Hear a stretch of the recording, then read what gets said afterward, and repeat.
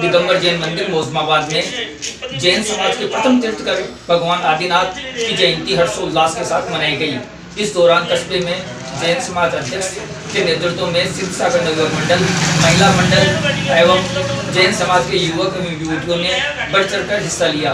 गौरतलब है कि जैन समाज के प्रथम तीर्थकर भगवान आदिनाथ का जन्म उत्तर प्रदेश के अयोध्या नगर में हुआ था। मौजमाबाद उपखंड मुख्यालय सहित आसपास के ग्राम पंचायत में सकल जैन समाज की ओर से जैन धर्म के प्रथम तीर्थकर भगवान आदिनाथ की जयंती धूमधाम से मनाई गई। सुबह से ही श्री दिगंबर जैन मंदिर में पूजा पाठ शुरू हुए।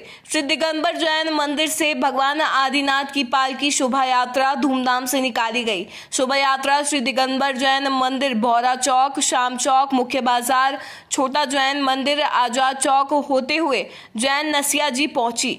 जहाँ पर धार्मिक प्रवचनों के बाद वापस से कस्बे के मुख्य मार्ग से होते हुए श्री दिगंबर जैन मंदिर पहुंचकर शोभा यात्रा संपन्न हुई। जगह जगह पुष्प वर्षा कर आरती उतार कर शोभा यात्रा का स्वागत किया गया।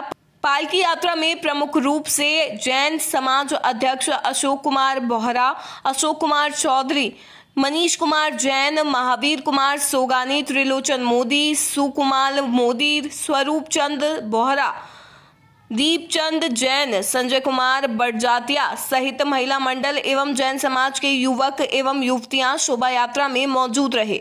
मौजमाबाद जैन समाज की ओर से आदिनाथ जयंती शोभा यात्रा में, शोभा यात्रा में मौजूद जैन समाज के लोग।